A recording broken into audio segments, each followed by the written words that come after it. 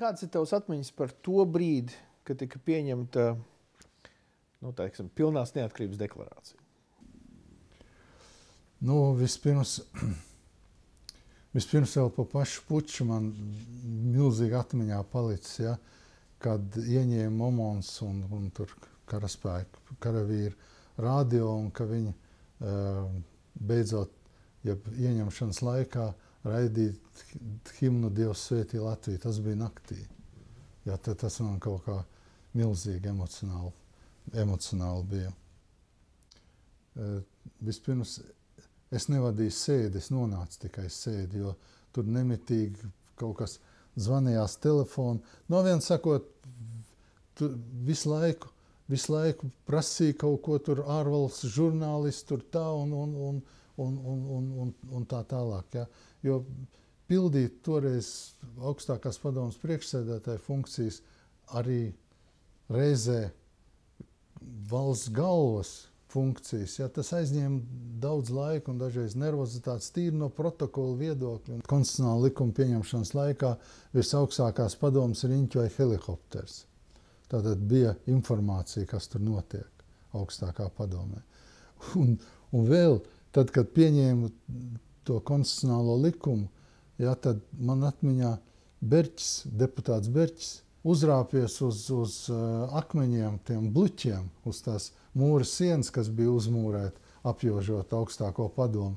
Lasīja konstitucionālo likumu, jo nebija radio, bija noslēgts un viss. Ja? Un, un domu laukumā bruņtransporties brauca. Ja? Kā tu uzzināji par puču? Es neteiktu, ka es biju panikā. Es, es sapratu, ka sākas ļoti nelāgas lietas. Ja? Un tad, kad es biju augstākā padomē, ja, kad deputātos nebija panikas. Nu, bija, protams, nervozitāte, ja, bet panikas nebija. Ja.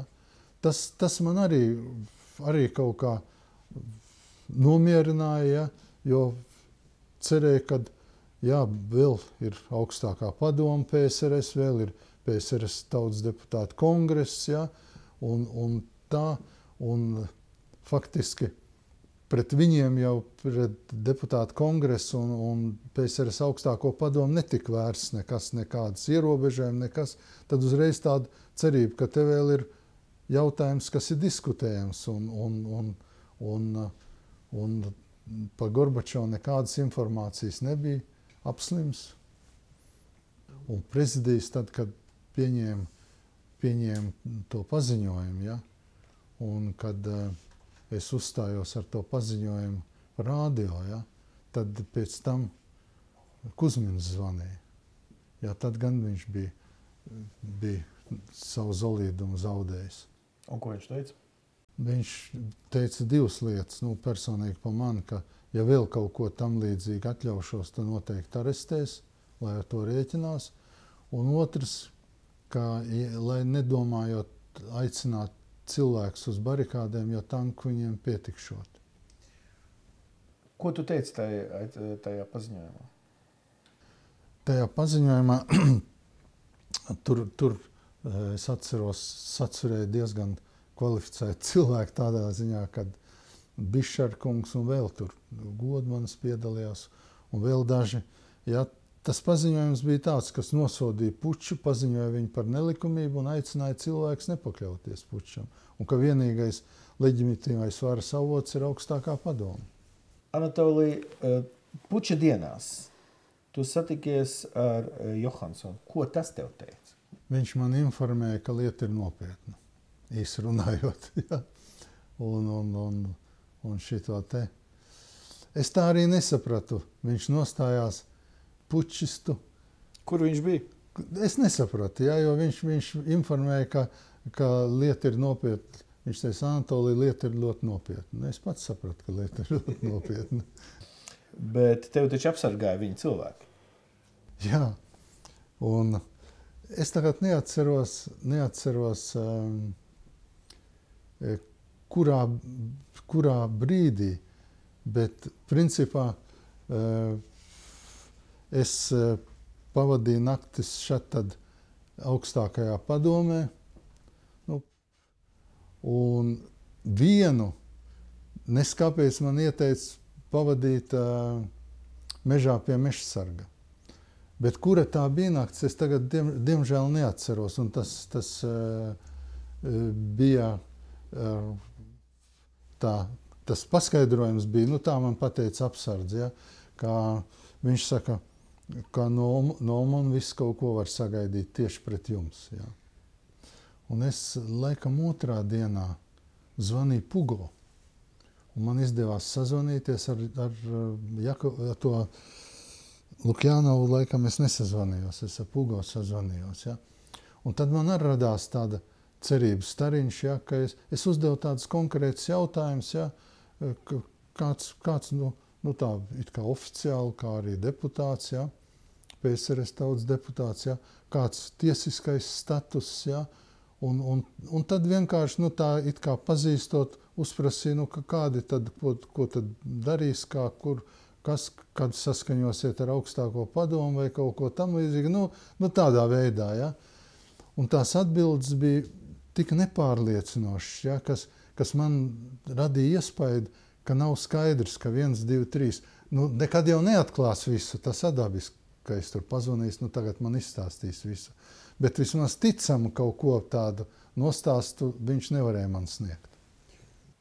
Vai tajā brīdī, kad bija pučs, tev bija sajūta, ka ciest var ne tikai tu, bet arī ģimene? Nu, protams, ka, ka bija, bet es kaut kā uz to nekoncentrējos. Ja? Es nu, nesēdēju un nedarbēja. Kaut gan man palīgi saka, ka man revolveri viņi redzēja zem, zem, zem šitā te, zem papīriem, uz rakstām galda. Ja. Augstākā padomē nebija panikas. Ja. Visi gatavojās. Viena sēde notika pat piecos no rīta, piecos, tur fiksēts stenogrammā, 5,47 minūtēs sēdu un nebija kam vadīt, daudišs vadīja. Ja. Un, un tas tā, ja, ja, ja cilvēks ir aizņemts ja, un, un, un nevis gaida, kas te notiks, notiks vai, vai, vai, tad, protams, ir citādāk. Kā tavējie šajā laikā, vispār laikā, tavējie bija tev stabila aizmugure? Ģimene, jā, tuvinieki. Jā. Jo Dainis teica, ka nav bijis tik vienkārši, ka viņam izējot no savas dzīves pieredzes, radi teikuši, ka nelien tur iekšā. Nē, man, man kaut kā, nu, pirmkārt, ar, ar ko es varēju kon kontaktēties ar dēlu un, un, un sievu, ja, un pārējie ģimenes locekļi, pārējie radnieki vispār kaut kā nu, distancējās no manis nu, tādā veidā, ja, ka nu, ne, ne, neplātījās ar to, ka viņi ir mani radnieki, ja, un līdz ar to arī paši, paši teiksim, nu, mācis brālis, tas tā, tas tā vairāk Tur es vienreiz kaut ko pateicu, viņš teica, man norāja bišķiņu, tu tur esi nevis uzmanīgs, bet tu vairāk atbalsti tur un tā un šitā. Antolī, vai tu varētu sīkāk pastāstīt pēc, pēc tam, ka puķis beidzās? Pēc tam tu vadīji delegāciju, kas brauca pie Jeļcina. Vai tu varētu to dienu vairāk aprakstīt? Vispirms atmiņā palicis tas, ka mēs tikām uzņemti kā gaidīt viesi vai kā, tā, kā partneri. Ja?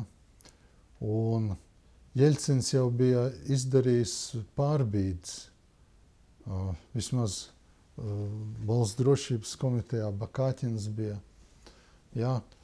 Un mūs ne tikai laipni uz, uzklausīja, ja? bet arī, arī rīkojās, piemēram, mūsu lūgums tika izpildīts.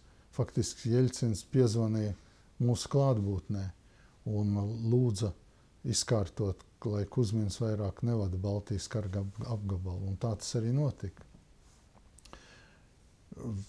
Vienīgais Bakāķinām mēs lūdzām pa kartotēkas lietām. Ja?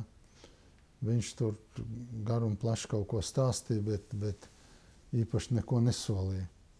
Tad palicis atmiņā, to jau Peters vēl rakstījis savos atmiņās, ja, ka viņš uzprasīja, kas man apsargā. Ja?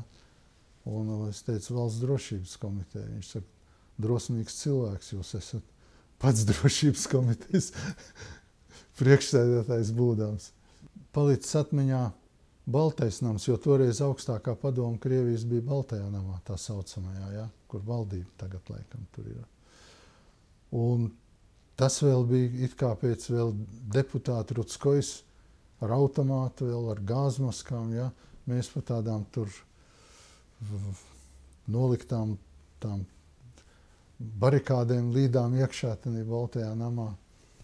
Un, un tā, un tad, tad, kad Jeļcins es tā īsti nebiju, nebiju domājis, ka Jeļcins mums ies, dos to uh, atzīšanas rakstu. Tu nezināji, kas, kas jūs sagaida, kā, kādu veidu dokuments? Es nezināju. Mēs vēlējāmies, mēs tur sākām stāstīt vis, visādas lietas, tur tā. Viņš saka, nu labi, es jau zinu, ko jūs galveno gribat. Ja? Nu, mēs teicām, protams, ja? bet tā, ka tur protokoliski bija sarunāts, ka tagad jums pasniegs tur neatkarības apliecinājumu vai atzīšanu, tā, tā tas nebija nekādā veidā. Tie notikumi bija tik sablīvēti, ka, ka vienā dienā varēja izdzīvot pusgadu. Tāpēc tagad ir uh, grūti atcerēties visu to, jo milzīgi blīvi viss, viss notikās. Ja? Un pat, pat daž, dažbrīd, dažbrīd pat nebija laika kaut kādām eh, nervozitātei vai kam, jo viss, viss notika. Ja?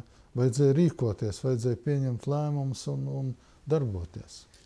Tas, ka faktiski Krievija atzina, un tas, ka pēc tam sekoja virkni mazo valstu, faktiski, vai tas nozīmē, ka šīm lielajām valstīm varēja būt kaut kādas, kaut kādas citas ilūzijas par kādu citādu scenāriju vēl? Lielās valstis tomēr ļoti orientējās uz Gorbačovu. Ja, jo, jo viņas Gorbačova politiku viņas atbalstīja, nu, viņas nevis tādā veidā neatzīt Baltiju, bet, bet val, Baltijas valsts neatkarību, bet kopumā to Gorbačovu politiku, to, tur, visu to atklātību un, un demokrātiju, ko viņš visu darīja, viņi at, e, atbalstīja. Un tāpēc viņi, viņi uzmanīgi sekoja procesiem pie Gorbačova, ja, procesiem Padomu Savienībā toreiz, ja, kā tas viss un, un, un tā. Vai pēc uh, pilnīgas neatkarības atzīšanas Padomju Savienība, respektīvi Gorbačovs, kaut kādā veidā pastāvēja Latvijas ārpolitikā, teiksim, nopietnā līmenī? Es domāju, pārstāja eksistēt, ja? jo mēs tomēr bijām diezgan sāpīgi uztvērām to, ka mēs esam pasludinājuši savu neatkarību, ja, un, uh, un mūs neatzīst. Ja, un, un, un tā kaut gan mums pašiem bija pasludināts arī pārējais periods. Ja. Bet eh, tāpēc visu to lietu tā diezgan jūtīgi uztvērām, ja, ka, un, un jūtīgi apliecinājām, ka mēs esam neatkarīgi, ja, un ka PSRS prezidents, mums viņam nekāda leģimitāte nav.